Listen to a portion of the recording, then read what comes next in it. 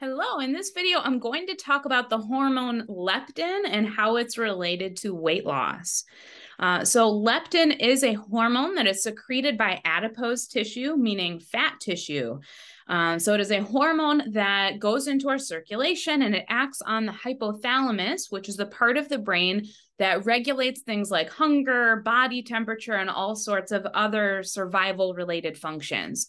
So it's a hormone that your fat tissue produces, and it acts on the hypothalamus, the part of the brain, to inhibit hunger, meaning that it makes you less hungry, which leads you to eat less food.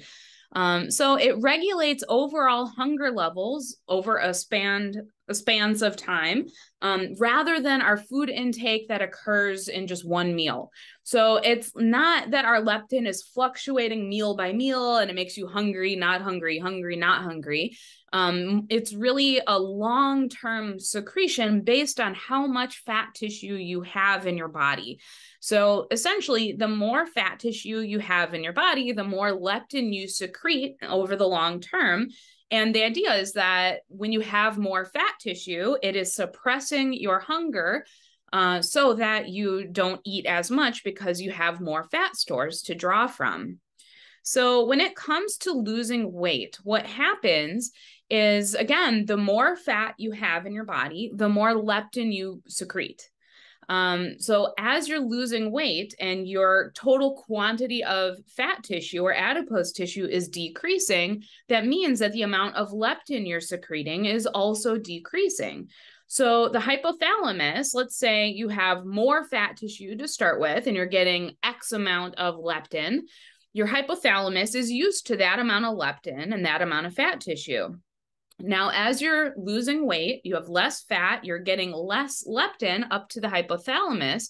The hypothalamus is thinking, oh boy, we don't have as much fat anymore, and there isn't leptin to suppress hunger. So you start to get more and more hungry, and the brain can actually interpret that as being in a state of starvation. Um, so what happens is as we're losing weight, even though uh, the energy demands of the body haven't changed, in fact, they might even become less because you have a smaller body mass. Uh, but the energy demands aren't necessarily changing. So you're not working out more or anything like that. That would mean you need to eat more food. Um, but because the hypothalamus is interpreting the lower level of leptin as starvation, it can lead to intense hunger and cravings. Um, which then gets in the way of your weight loss efforts if you're still trying to lose weight or you're trying to maintain your new weight. Um, so the trick is working through that increased hunger and cravings, realizing that just because you're hungrier doesn't necessarily mean that your body requires more food. It just means that your hypothalamus hasn't yet adjusted to your new level of leptin in reflection of your new amount of body fat. Um, so it means that it might be getting harder as you're losing weight. It's harder to resist the hunger and the cravings that are increasing in that case. Um, but you need to resist. And um, with discipline, you need to keep your uh, total volume of food in check and make sure that you're still eating healthy foods. And then your weight loss efforts will continue. And over time, your hypothalamus will adjust. So you're not just going to be hungry and having cravings forever. It's really just while you're in the process of losing weight before your hypothalamus has adjusted to your new level of leptin.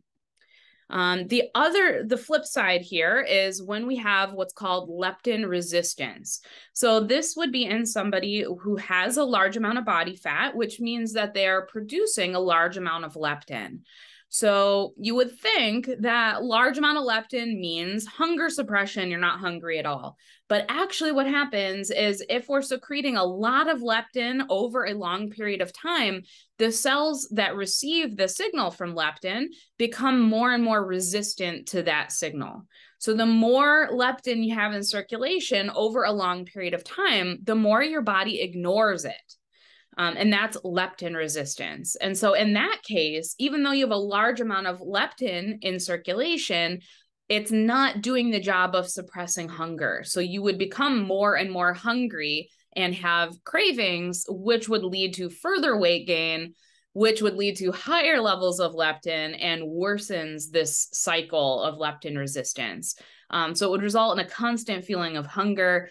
Um, and so, again, just like in the last example during weight loss, it's a matter of not giving into that hunger and craving uh, which I know is definitely easier said than done, but it is a matter of figuring out how many calories you actually need in the day, choosing healthy foods instead of giving into cravings, and sticking with it. So even if you're feeling hungry, um, we can't always trust that our feelings of hunger mean that we require more food.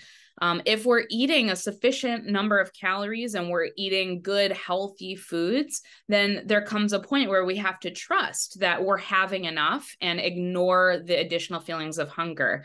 Uh, because the only way to get out of this leptin resistance is to lose body fat so that we secrete less leptin. And the less leptin we're secreting, the more sensitive the hypothalamus will become um, in response to that leptin secretion. So once we lose more weight and we secrete less leptin, then the leptin starts to have a greater effect. And so eventually, when you get out of the cycle of leptin resistance, um, now leptin is doing its job and it does suppress hunger. So you aren't just going to be hungry forever you will get out of that cycle and get back into a normal uh, cycle of hunger and hunger suppression with leptin.